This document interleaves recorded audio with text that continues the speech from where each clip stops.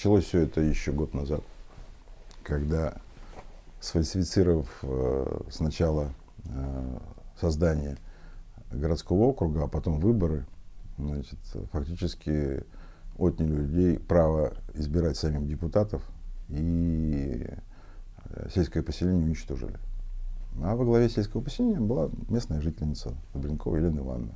Очень уважаемый, хороший человек, который все делал вне зависимости от команд там, Единой России или каких-нибудь властей, а делала все для людей. А потом значит, пришли к власти ну, граждане, которые поставлены сюда Единой России, и рейдерами, к сожалению.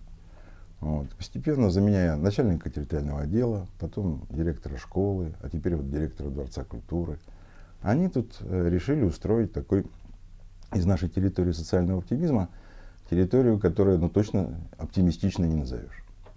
И началась война. Война между жителями, хорошими людьми, людьми, которые хотят, чтобы э, ну, скажем так, были бесплатные кружки, э, власть была адекватной. И этими самыми э, бандитами, по-другому я их не назову. Потому что такие действия, которые были предприняты в Дворце культуры, иначе как э, противозаконными и бандитскими не назовешь. Вот. Ну и если по порядку, то да, действительно, Дворец культуры был в свое время передан э, под, в оперативное управление в оздоровительный центр. Это такая структура, которая на 100% принадлежит совхозу, но занимается как раз э, оперативным управлением различных объектов, которые э, предназначены для социальной, социального развития поселения. Это и поликлиника, это и спорт, это и культура. И у него в оперативном виде находится Дворец культуры. А там есть э, договор между нами и муниципальным учреждением Центр культуры совхоза Ленина, который когда-то был создан Добренковой для того, чтобы э, культурно-массовую деятельность, ну и спортивную деятельность, другой еще один центр, э, воплощать. И все кружки были бесплатными, и это обходилось бюджет в определенную сумму денег, и вы всячески помогали ему, устанавливая низкие ставки аренды, э, помогая э, с точки зрения организации производства. Mm-hmm ну, организации культурных мероприятий. Вот. А теперь э, пришли какие-то совершенно неадекватные власти, которые вдруг назначили директором Центра культуры э, сослуживца одного из депутатов Государственной Думы от Единой России Саблина, который решил, что здесь нужно устроить войну. И совершенно незаконно, мы это уже теперь выяснили, пригласил какую-то так называемую охранную структуру, которая на самом деле э, даже в реестре нет, а, по фотографиям этих людей видно, что это такие как, видавшие виды бойцы или борцы с переломанными ушами, не представляют, кто они такие. То есть они даже не называют фамилии, имя, отчество. Значит, и без всяких, скажем так, оснований, без договоренности, без... Ну, просто захватили дворец культуры. И два или три дня они там, вот сейчас вот ночевали, устроили там помойку, буквально ну, дворец культуры не предназначен для того, чтобы э, ночлежку там устраивать, а там 8 человек ночует мужиков. Вот. И понятно, что ни один здравомыслящий, скажем так, родитель не поведет туда детей, угу. э, ну, потому что туда уже, э, тут был случай, главного бухгалтера не пустили. Они не могут идентифицировать наших жителей, ну, понятно, что э, они даже не понимают. То есть своих работников не пускают. Да. Ну. Вот. Э, и такое противостояние между жителями и теми, которые вот захватили дворец культуры, а также группой молодых людей, которые, э, видно, боевое братство, которое их там патриотически учит, вот, научило их, в том числе и рейдерским захватом. Просто пришли, встали около э, здания Дворца культуры и решили не пускать работников, Дворца культуры, работников совхоза и работников Дворца культуры в здание. То есть практически препятствовали проходу. Вот. На вопрос, а что вы тут делаете? Ответ один. Нас прислали.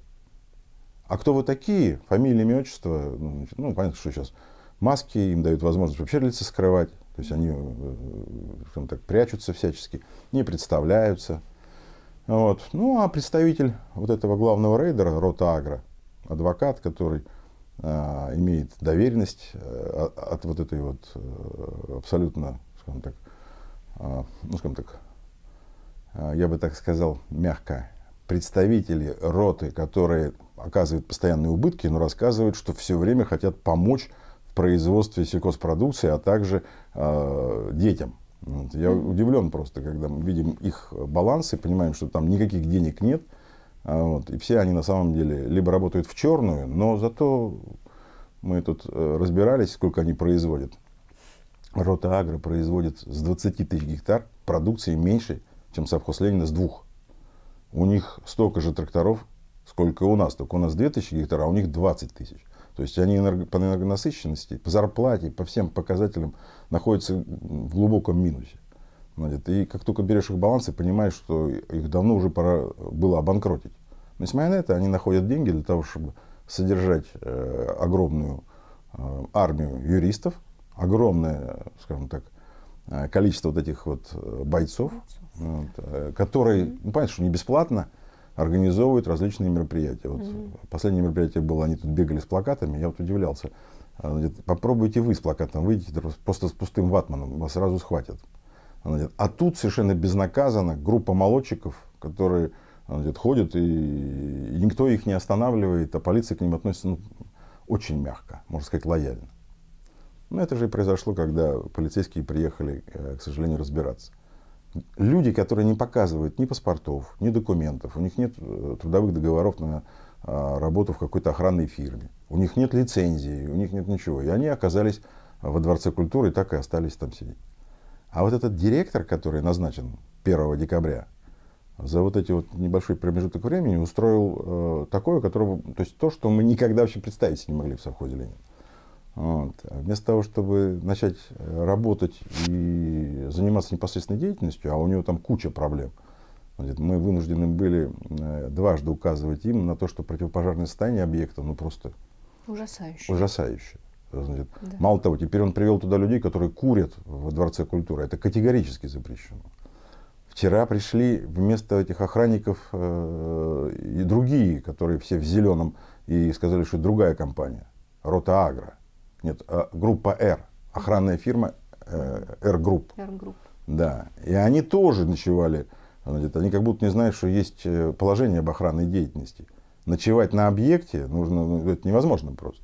Ну, мало того, вот. у нас на объекте есть э, режим пропускной, ну, да. который нарушается. Вот. Ну и поэтому мы с Анастасией пытаемся через правоохранительные органы, через э, учредителя вот этого центра культуры, а это некто Спасский такой, глава э, администрации, угу. который назначил полковника в отставке главного разведывательного управления директором Дворца культуры. То есть э, вот эти назначения, когда берут, например, э, человека из Истринского района, который никогда в районе не был, и, ну, скажем так, его там в Истринской школе не приняли и выгнали просто – и берет, ставит директором школы в совхозе имени Ленина. У нас такое ощущение, что как будто в Ленинском районе или в Ленинском городском ни одного учителя нет нормального или завуча, которого можно mm-hmm. поставить директором. Ну, берет э, абсолютно неизвестного человека, ну, э, я понимаю, что это все по рекомендации Единой России и этой э, роты и боевого братства, и ставит, например, начальника территориального отдела некто из Векова, который вообще ничего не понимает. Вы тут показывали его разъяснение, он путается, то есть с разницей в час он совершенно разные, скажем так, э, показания дает. Вот, вообще ничего не понимает. Он только занимается тем, что тут скандалы устраивает. Или ставит вот этого э, Жукова, которому говорит, слушайте, у вас проблема в другом. Ну, давайте так. Он не имел права заключить контракт. Потому что в смете его бюджетного учреждения не предусмотрены расходы на охрану. Он не имел права подписывать документы, потому что он даже не занесен пока в реестр. Он не, не директор. Он, он не имел права подписывать э, контракт, потому что 44, угу. э, закон 44 ФЗ о контрактной системе не позволяет ему это делать. Есть особый порядок э, скажем, заключения договоров. Вот. Но несмотря на это, ему все сходит с рук. Он ничего не боится, потому что за его спиной стоит его однополчанин, или там, скажем, человек, с которым он вместе учился, Саблин. Значит, а у Саблина абсолютная поддержка властей. Ну, это видно сразу. Вот. И мы с этим, а, как Левиафаном, который значит, к нам заполз, ничего сделать как будто мы не можем, по закону. Вот. Поэтому мы сейчас э, написали, да, Настя? Мы Куда сейчас мы написали, э, ну, естественно, заявление в полицию, мы написали заявление в прокуратуру, отправили главе Ленинского городского округа Саблин. Тому, кого назначил да, этого персонажа. руководителю, который за это должен отвечать.